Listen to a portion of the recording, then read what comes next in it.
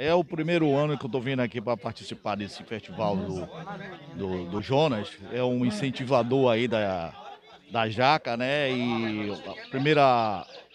Primeiro teve um amigo dele que veio de Santo Antônio de Jesus que falou muito bem com relação, da, da com relação à jaca e também é, ele incentivou aqui a fazer mudas de, de, de, de jacas e, e, e disseminar essa, essa planta tão, tão fantástica que veio da original da, da Ásia, né? Como ele falou. Muito importante esse evento que ele faz todo ano. Tá?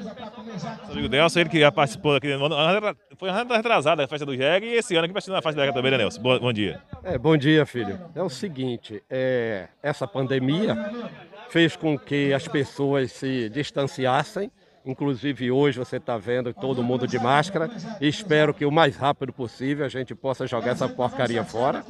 Mas o, o evento que o Ligote promove aqui, muito importante para o município, muito importante o que o rapaz falou ali. Temos que incentivar a cultura, a agricultura, com as mudas das jacas, principalmente as boas, as que são é, vencedoras nesse evento, e que dê esse incentivo para os produtores é, deixarem de, de, de destruírem as plantações porque você vê que São Felipe, em todos os locais que nós passávamos, tinham tinham pé de jaca e hoje você observa aqui, você não vê mais pé de jaca.